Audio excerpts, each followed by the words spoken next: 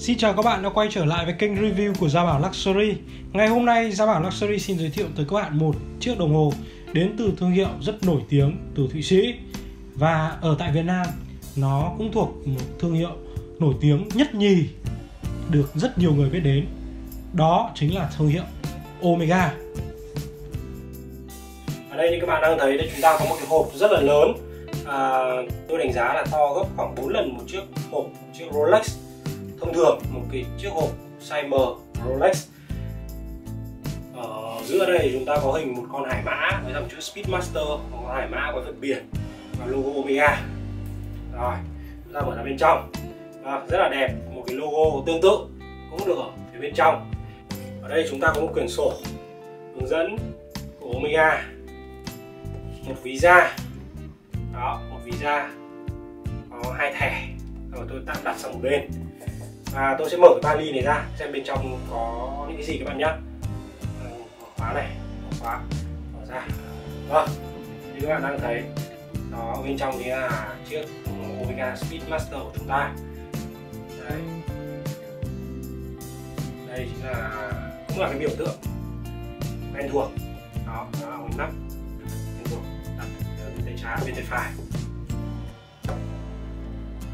Đây nút rất là đẹp hộp của Mia thì làm rất là tỉ mỉ và cầu kỳ. Ở trong này các bạn có thể thấy hai dây hai dây chúng ta có thể thay được à, thay cho cái dây kim loại của Omega. Một dây là dây dù dây NATO hay chúng ta gọi là dây vải dù đó một dây là khóa dán đó. Ở phía dưới của chiếc hộp này. Đó đây là lấy cho các bạn xem. Hai quyển sách. À, như các bạn đã thấy một quyển sách là Legendary Moonwatch, giới thiệu về cái bộ sưu tập Moonwatch này của Omega rất là đẹp, đúng không ạ?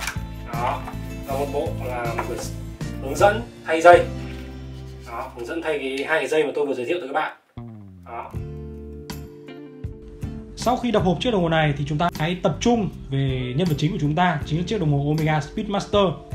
Với chất lượng tuyệt hảo thiết kế đẹp mắt và quan trọng nhất là mức giá khá dễ chịu so với người đàn anh Rolex những mẫu Omega luôn là sự lựa chọn hoàn hảo dành cho những người chơi đồng hồ trong số đó, nổi bật nhất chắc chắn phải là bộ sưu tập Speedmaster với lịch sử gắn liền với ngành hàng không vũ trụ và các chuyến du hành của NASA.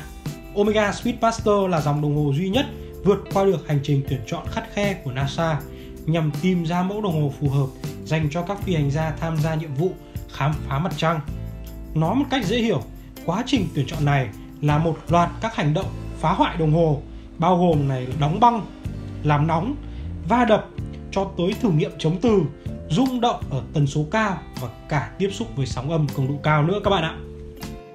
Ban đầu thì Speedmaster được thiết kế cho các tay đua xe hơi với cái tên Speedmaster cũng đã thể hiện là điều đó.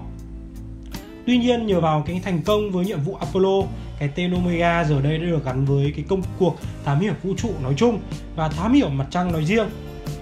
Điều này cũng được Omega tự hào tuyên bố trên mặt đáy của những chiếc Omega Speedmaster với dòng chữ The First Watch Worn on the Moon. Với đường kính 42mm không quá lớn cũng không quá nhỏ. Đi kèm với đó là một tai càng nối dây 20mm phổ biến, rất dễ trong việc thay đổi qua lại các mẫu dây da hay dây cao su. Đó là chưa kể tới hai bộ dây dán và dây NATO đi kèm với chiếc đồng hồ. Chiếc đồng hồ này có độ dày là 13,5mm, không quá dày cũng không quá mỏng. Với một chiếc đồng hồ thể thao, tôi đánh giá đây là một cái độ dày trung bình. Càng nối dây của chiếc đồng hồ này được thiết kế cong, ôm cổ tay, được xử lý khá là cầu kỳ. Bộ phận này thì được cắt thành ba mặt lớn với mặt chéo và mặt trên được đánh bóng, còn phía mặt bên thì được trải xước rất là tỉ mỉ và kỳ công. Không chỉ vậy, mặt trên của càng nối dây được thiết kế hơi vát vào phía bên trong, thuôn dần về phía bộ dây kim loại. Bộ dây kim loại ba mắt được thiết kế rất là ấn tượng với phần lớn bề mặt được trải xước. Bộ núm chỉnh giờ và nút bấm được thiết kế khá là đơn giản và dễ thao tác, được bảo vệ bởi thiết kế bất đối xứng trên vỏ đồng hồ. Bạn có thể thấy rằng nửa bên trên phải được thiết kế lớn hơn so với các phần nhô ra nhằm bảo vệ trục núm chỉnh giờ và nút bấm.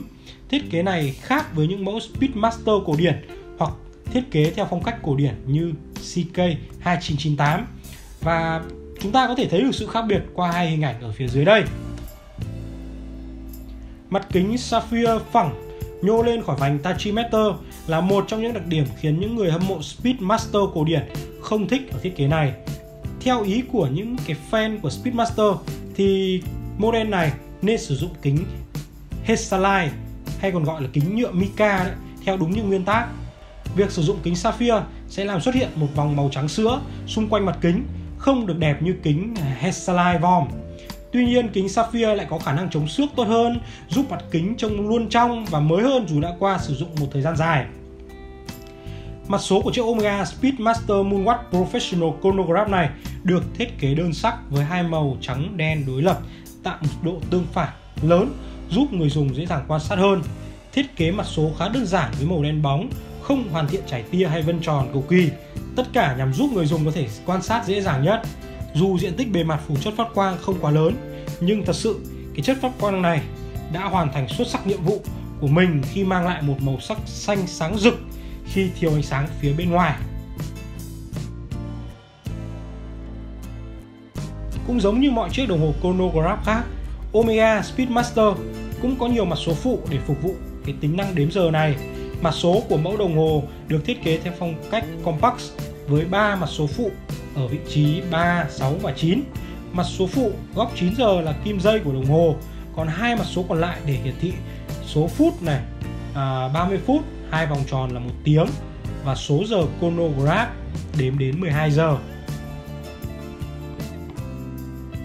Cái cỗ máy 1863 này chính là phiên bản cải tiến của bộ máy gốc 1861 được dùng trong những cái mẫu Speedmaster đời đầu. Về thông số kỹ thuật thì caliber này không khác gì 1861.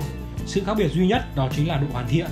Cỗ máy 1861 được thiết kế lắp bên trong những chiếc đồng hồ Speedmaster đáy kín, còn 1863 thì được thiết kế lắp bên trong những chiếc Speedmaster sử dụng kính sapphire, có nghĩa là lộ máy để cho chúng ta ngắm nhìn được cỗ máy tuyệt đẹp bên trong. Vì vậy, 1863 được hoàn thiện tỉ mỉ hơn với những cái đường vắt cạnh này, những đường vân uh, sọc cốt de Genève trên cầu nối, vân vân và vân vân. Là một cái bộ máy lên cót tay với cái thời lượng cót chỉ khoảng 48 tiếng. Vì vậy, sở hữu cái caliber 1863 này sẽ yêu cầu chúng ta chăm chút kỹ lưỡng hơn bởi người dùng. Khác với những chiếc đồng hồ tự động, người dùng máy lên cót tay phải thực hiện một cái nghi lễ mà tôi gọi đây là nghi lễ mỗi sáng. Đó chính là lên dây cót cho đồng hồ. Tất nhiên, thì có nhiều người ngại thực hiện điều này. Nhưng với tôi hay là với một số người thích chơi đồng hồ thì đây lại là một thú vui, đặc biệt khi vào một cái buổi sáng giá lạnh bên cạnh một tách cà phê ấm, thì việc lên dây cót này rất là thú vị các bạn ạ. Và đây là cuối của video này rồi. Gia Bảo Luxury xin cảm ơn các bạn đã theo dõi và lắng nghe video review chiếc đồng hồ Omega Speedmaster Moonwatch. Xin ờ, chào và hẹn gặp lại các bạn trong những video tiếp theo.